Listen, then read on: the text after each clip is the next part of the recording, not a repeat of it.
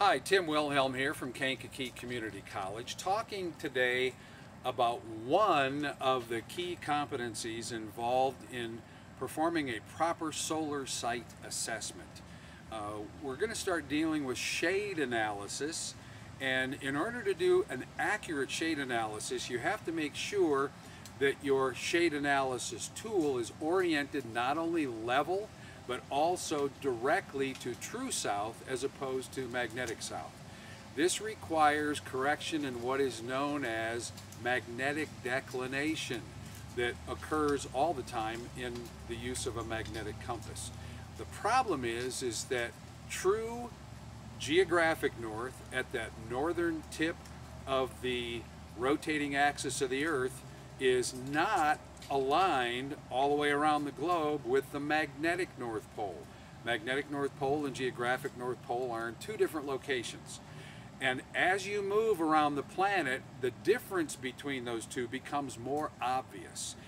For a lot of people, this is a little bit difficult to understand, so we're going to do a short, simple demonstration on a globe to give you an illustration of how this change occurs as you move from longitude to longitude. So let's move in and see the globe. Now we we can say So here we have a globe model of the Earth, and right here under my fingertip there is a crosshair that's marked as the geographic North Pole. Now that doesn't change position on the Earth because the Earth is rotating on an axis that goes north and south right through that point. There is another pole, though, we refer to, which is right there beneath my fingertip, which we call the magnetic north. So this magnetic north pole tends to move and wander around and it doesn't stay in the same spot all the time.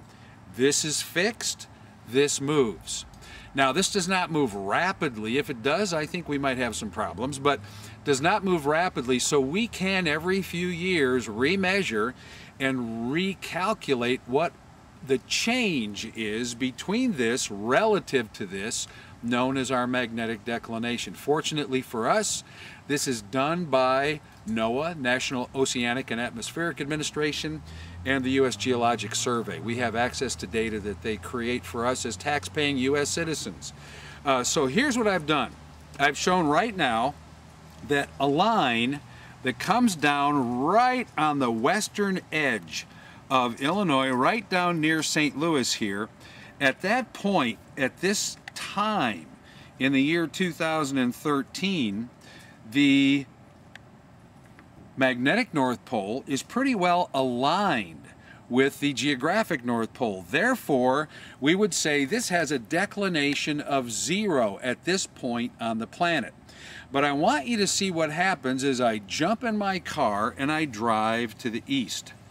As I jump in my car and I drive to the east, what's going to happen is, is that I'm going to get an angle now develop between where my compass needle is pointing and where the actual North Pole, geographic North Pole of the Earth is.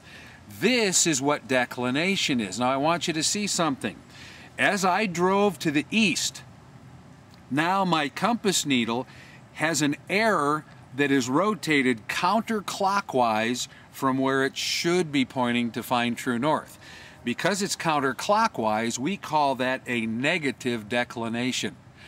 To correct that, on our shade analysis tool, we have to rotate the bezel of our shade analysis tool, or you can do this on a magnetic compass.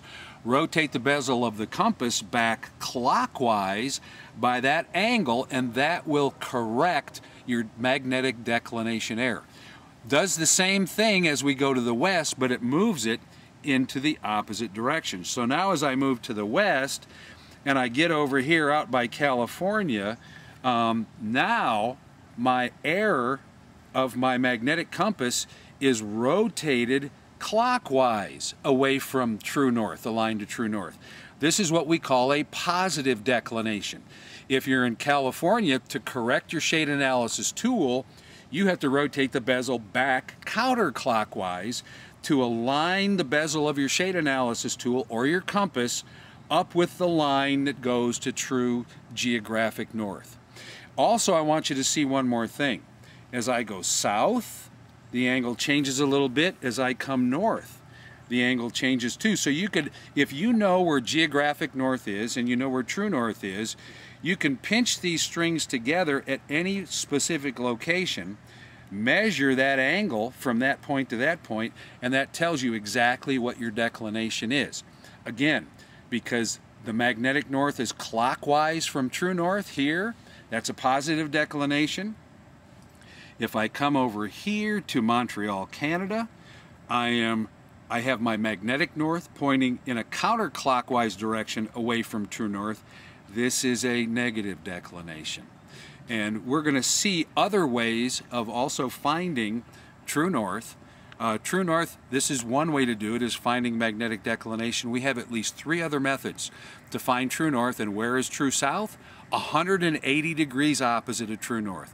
Once we find north, flip 180 and there's true south. We'll be back with you. So now that we know what magnetic declination is, we need to correct for it. We've already pointed out that as you go further and further to the east or further and further to the west, at this point in time from right around the Mississippi River, your magnetic declination gets worse and worse as you go. Remember that a negative declination says that magnetic north has rotated counterclockwise from true north. And a positive declination says that magnetic north has rotated clockwise from true north. So we need to correct for that here. Now, what I want you to see on our shade analysis tool is right here on the far end, there's a little white dot. And there is also a protractor, degrees measured out across the top. From zero over to minus 30, from zero over to positive 30. These right here are your declination readings for your location. In order to do the magnetic declination correction, remember where we are here in Kankakee, Illinois, we have approximately three degrees of negative declination. That means magnetic north is rotated counterclockwise from true north. So what I want to do to correct for that, I want to rotate clockwise to correct for it.